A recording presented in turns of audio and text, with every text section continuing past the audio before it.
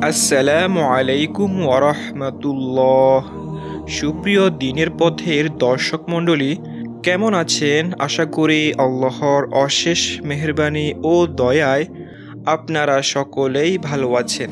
প্রিয় দর্শক, আমরা অনেকেই সারাটি জীবন রুকুতে গিয়ে সুবহানা রব্বিয়াল আজিম তিনবার পাঁচবার, সাতবার, যে যতবার পড়ি এবং সেজদায় গিয়ে সুবহানা রব্বিয়াল আলা, তিনবার, পাঁচবার, সাতবার, যে যতবার পড়ি কখনো কি বেবে দেখেছি?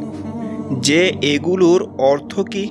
তাহলে নামাজের প্রতি মন আসবে কি করে?